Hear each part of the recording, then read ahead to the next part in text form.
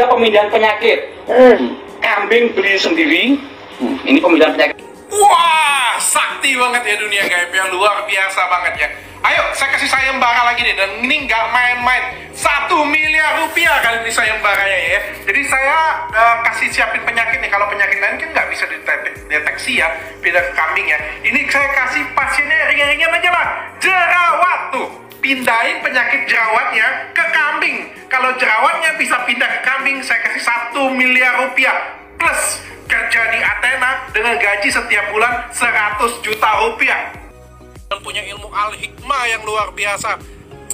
Ini saya mbara ya. Kalian yang kebal dengan pisau bedah saya saya kasih 100 juta per orang.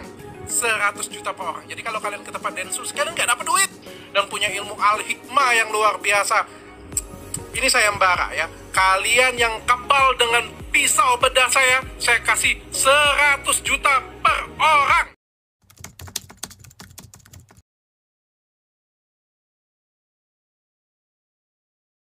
Alhamdulillah nih kita sekarang berkumpul di sini bersama para pegiat-pegiat seni budaya yang mencintai budaya ya, yang terusik nih dikarenakan ada sikap-sikap eh, orang-orang yang tidak mengetahui permasalahan tapi sudah mulai mengucap ya. Nah, ini kita dari mana aja nih? organisasi eh, Perkumpulan. Debus Banten di Indonesia. Perkumpulan Debus Banten Indonesia. Gimana Kang? Ya, menyikapi eh, fenomena akhir-akhir ini yang sedang ramai, yang sedang viral, maka kita dari Perkumpulan Debus Banten Indonesia sangat menyayangkan sekali dengan adanya ucapan-ucapan atau pernyataan-pernyataan ataupun kelakuan-kelakuan dari pesulap merah lalu dokter Richard Lee yang seolah-olah tahu tapi mereka sebenarnya tidak tahu tentang debus. Jadi kami di sini sudah melakukan atraksi juga membuktikan bahwa debus Banten itu yang bukan trik bukan sulap tapi nyata sebagai keilmuan yang telah diwariskan dari nenek moyang leluhur kami. Apa sih jawab? Ya, gimana Kang? Ya, untuk saya Mewakili mewakili Gus, saya tidak akan pernah melupakan orang-orang yang telah menghina debus. Ingat itu. Siapkan duit Anda. Gimana dari perwakilan mana Bu? Udah, udah semua. Dari dulu gimana? Dari pelakunya. Saya dari pelaku menyikapi hal tersebut dari pesulap merah dan dokter Richard D. Anda jangan gegabah dengan seni budaya kami. Memang kami ini manusia biasa, tapi ingat kun fayakun atas izin Allah. Alhamdulillah tadi kami sudah membuktikan. Bukan berarti tadi kami hebat. Maaf, ah, manusia tidak ada apa-apanya. Tadi membuktikan bahwa ilmu itu ada.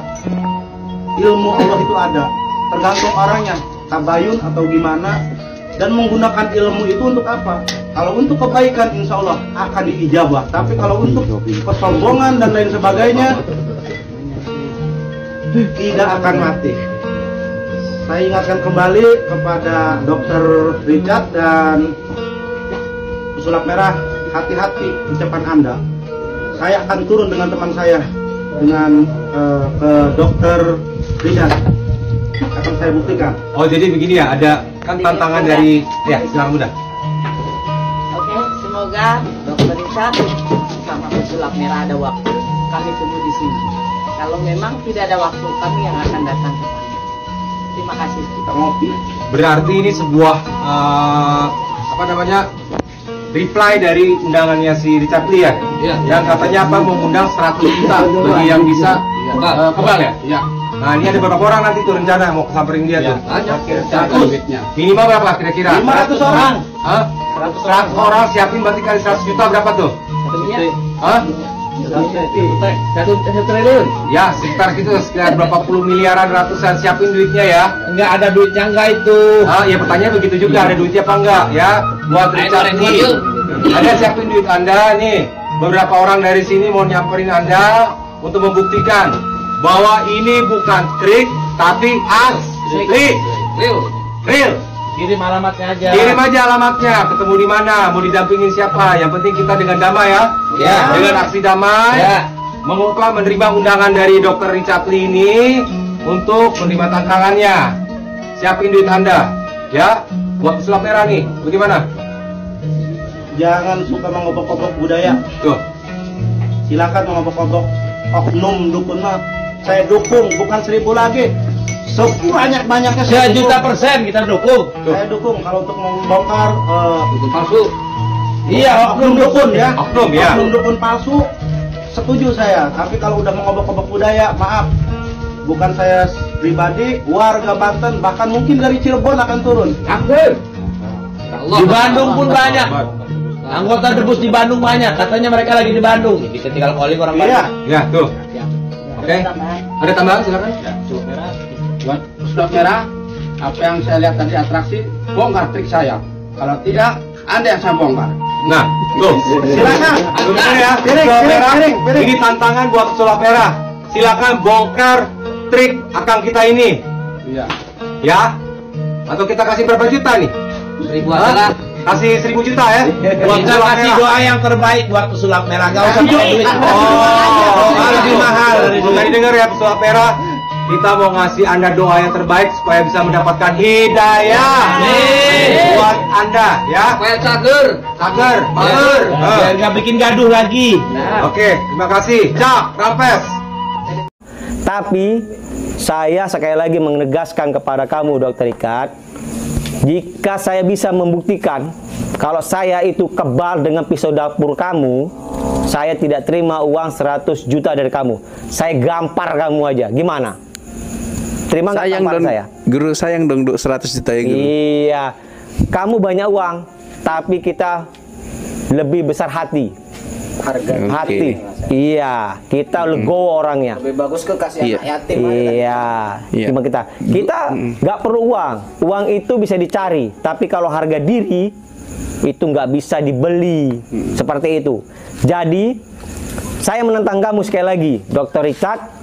Jika kamu bisa, bisa saya bisa membuktikan kamu tidak tidak tidak mempan dengan pisau dapur kamu itu. Saya tidak terima uang kamu 100 juta, tapi saya kepingin gampar kamu sekali aja. Gimana? Kamu terima nggak?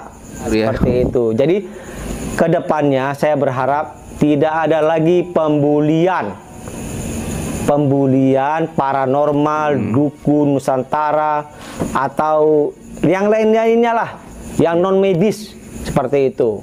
Iya. Jadi saya berharap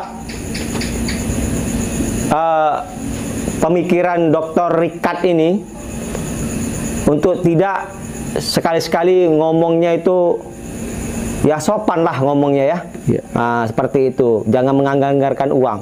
Guru, Ya. ini kan eh, Dokter Richard Lee ini kan malah juga menantang sebetulnya sama kayak pesulap merah eh, abang kita yang menantang juga kalau ada memang dukun santet, santet saya. Hingga sampai saat ini beliau masih sehat-sehat saja, Guru. Iya, sama itu. Karena santet ini tidak bisa dilihat dari orang, tidak bisa dilihat dari gambar. Ya, seperti itu.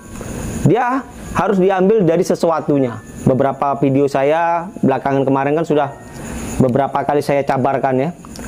Nah, tapi Dokter Rikat ini dia tidak minta santet atau tidak, dia hanya ingin membuktikan jika bisa membuktikan kekebalannya dengan pisau dapur dia, maka dia kasih uang 100 juta.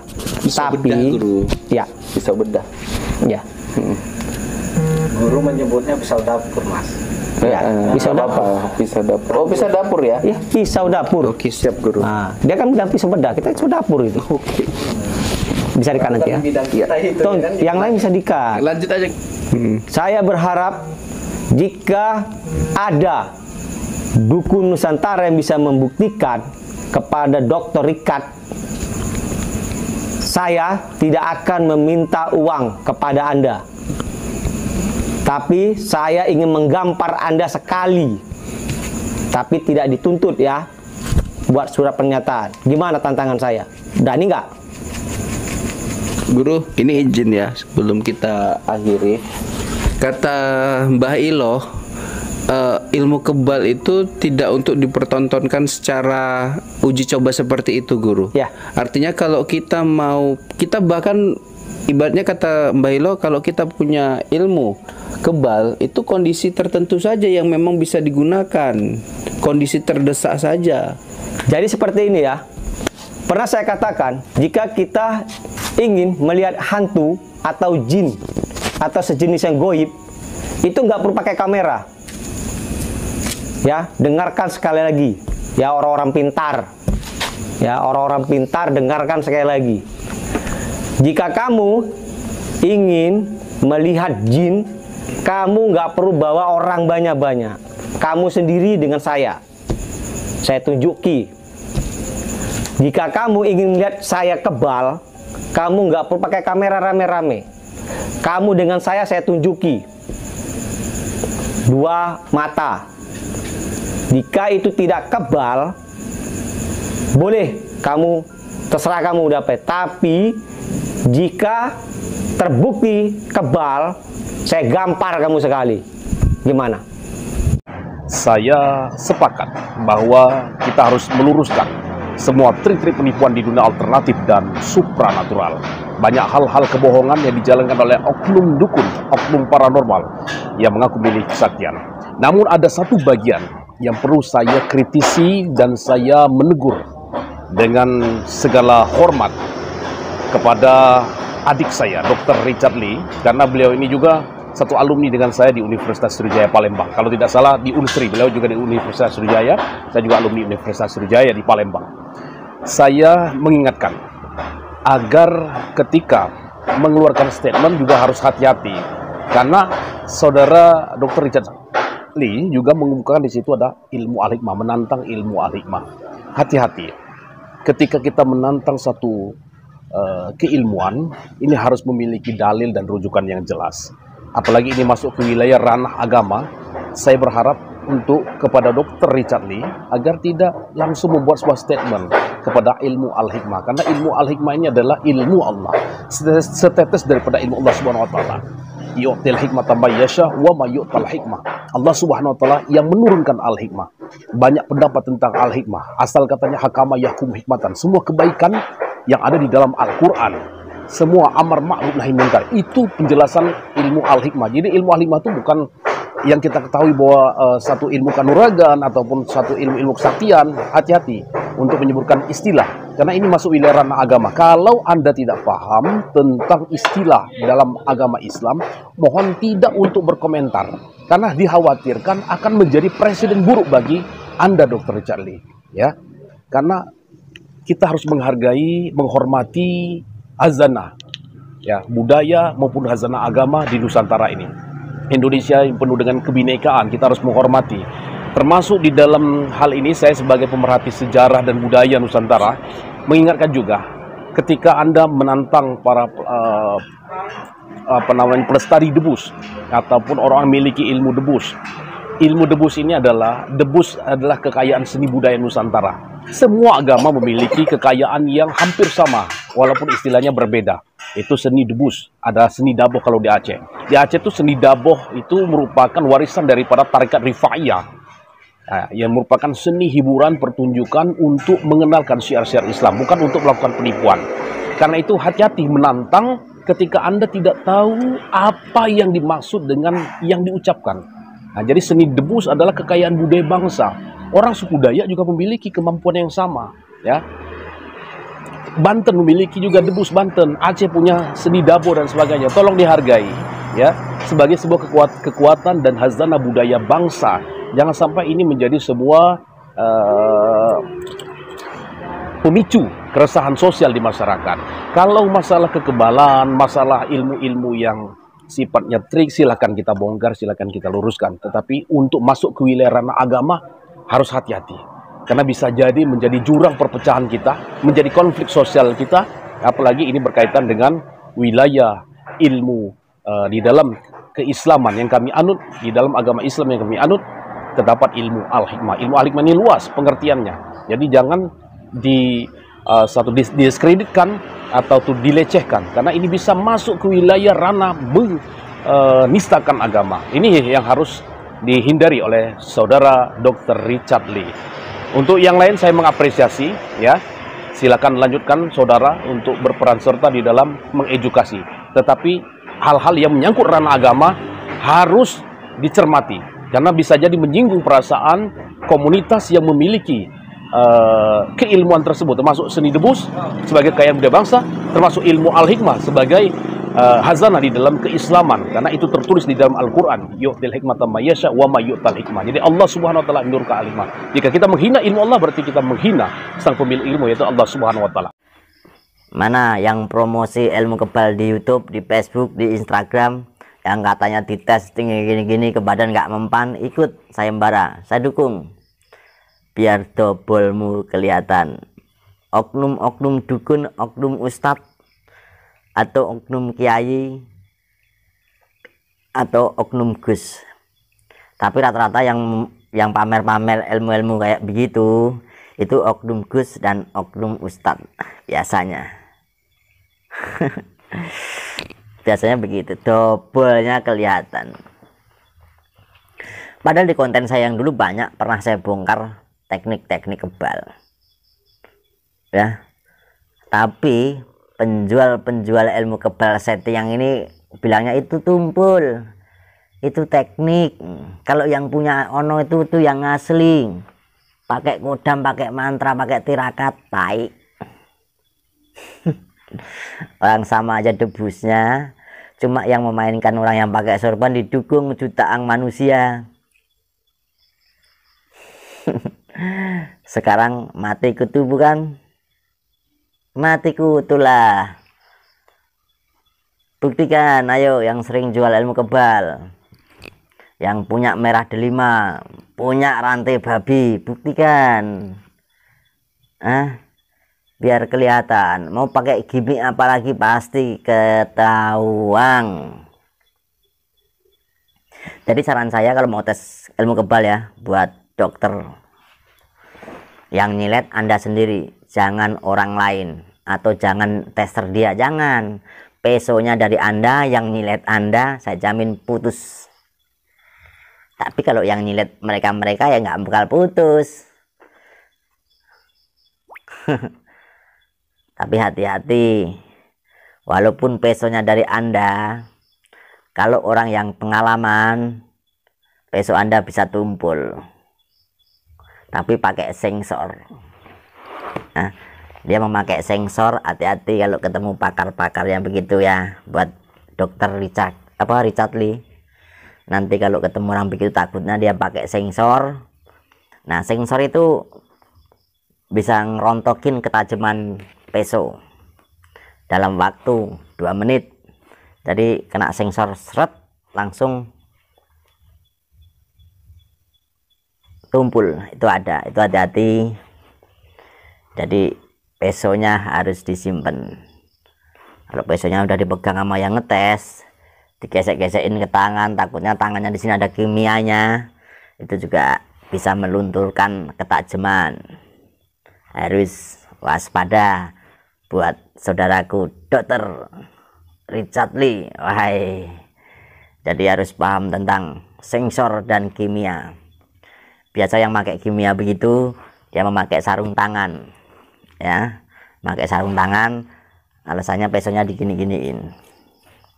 Itu tiga kali gesek yang begini peso ketajamannya akan tumpul. Tuh hati-hati juga. Takutnya kena modus. Nah, ini kalau pemain-pemain debus pasti tahu sejenis kimia apa buat ngerontokin ketajaman. Nah gitu aja ya. Sedulur-sedulurku biar pada sadar otaknya sudah yang ngeblank biar tambah waras. Kita harus paham cari ilmu yang nyata-nyata aja. Jangan yang halu ya. Semangat terus buat dokter Richard Lee. Ya, dokter Richard Lee saya memutuskan berani untuk menerima sayembara dokter Richard Lee kalau memang punya keahlian berhubung saya nggak kebal ya saya cukup mendukung Dr. Richard Lee adanya sayembara ini ya. Jadi kita juga pengen lihat nih, jujur eh, di dalam pencak silat eh, di organisasi yang saya ikutin kita itu tidak pernah diajarkan ilmu kebal ya. Ini di Esatrati kita tidak pernah diajarkan karena di dalam Esatrati itu sendiri kita belajar ilmu pencak silat sesuai dengan kodrat iramanya masing-masing. Jadi ketika memang dia luka ya luka, tapi sebagaimana kita sebagai manusia ya belajar bela diri itu misalkan belajar menghindar setidaknya belajar mengurangi rasa sakit tapi tetap misalkan dipukul ada lebam. Tapi setidaknya tidak eh, selemah pertama kali sebelum kita ikut pencak silat. Jadi kita belajar pencak silat seperti itu ya. Kekuatannya lebih dari sebelumnya cara menghindar bukan berarti di dalam pencak silat ini di, di organisasi saya di organisasi saya saat itu bukan berarti kita diajarkan ilmu kebal juga. Sekarang pemindahan penyakit. Nah ini menarik ya. Jadi eh, saya juga dulu sering mendengar dukun-dukun yang sering memindahkan penyakit ke hewan ya. Ada ke ayam ke ayam cemani ya. Yang di reaction tadi itu dipindahkan penyakit ke kambing. Nah tapi dokter Richard Lin cerdas nih kalau ada yang bisa memindahkan penyakit ke hewan yaitu jerawat. Nah jerawat kan kelihatan ya. Misalkan mindahin jerawat orang ke binatang atau ke hewan. Itu kelihatan kan jerawatnya? Kalau bisa dipindahin satu miliar kan nah ini menarik banget. Kalau saya pribadi punya keahlian seperti itu saya ikut. Ya kalau memang punya keahlian ya. Jadi eh, para yang ngakunya bisa ya. Para para dukun-dukun yang ngakunya mempunyai ilmu bisa memindahkan penyakit. Ini katanya kan non medis nih yang tidak terlihat. Nah sekarang pindahin jerawat tuh bisa nggak nih? Kalau memang bisa buktikan. Ayo. Kita juga sebagai saya juga sebagai praktisi bela diri pencak silat pengen melihat nih apa bisa nih? Ya apa bisa memindahkan penyakit seperti itu. Dan menjadi tontonan ya yang pasti eh, jangan sampai apa yang dilakukan itu adalah menipu masyarakat ya. Karena masyarakat sudah sakit ditipu juga itu yang sedih. Tapi kalau memang merasa tidak menipu ya merasa tidak menipu masyarakat merasa tidak menipu pasien silahkan buktikan ke dokter Richard. Sekaligus memang wah ini memang kesempatan saya untuk membuktikan. Ini bagus banget dokter Richard ya. Pertama dapat uang kedua kalian bisa membuktikan kalau memang kalian itu benar-benar mempunyai keahlian seperti itu. Ya. Jadi banyak video-video di YouTube sudah membuktikan pemindahan penyakit. Nah di sini pembuktian kalian. Kalau memang tidak berani ya berarti penuh tanda tanya itu. Harus harus dipertanyakan. Bukan penuh tanda tanya harus harus dipertanyakan guys. Nah eh, bagaimana menurut kalian? Ya jangan juga dilemparkan nih ntar ada yang komen nih. Kalau berani datang ke sini kalau berani eh, sama yang ini. Kalian tidak perlu melemparkan ke orang lain atau menyuruh datang ke tempat orang tersebut. Ini sudah ada sayembara. Kalau memang berani datengin dokter Richard Lee. Kalau memang berani pembuktian. Sudah tidak usah kita lempar tangan. Tidak usah kita e, menyuruh orang datang ke tempat tersebut. Ya saya membayar satu miliar gaji per bulan 100 juta ya dokter Richard Lee kita para pesilat sangat mendukung dokter Richard Lee ya. Pokoknya ditunggu video pembuktiannya buat para apa ya spiritual apa katanya atau dukun. Yang pasti semoga dengan adanya sayembara ini kita bisa melihat kalau memang ada yang bisa ya kita kasih apresiasi. Kalau memang tidak bisa ya bilang tidak bisa tanpa alasan ini itu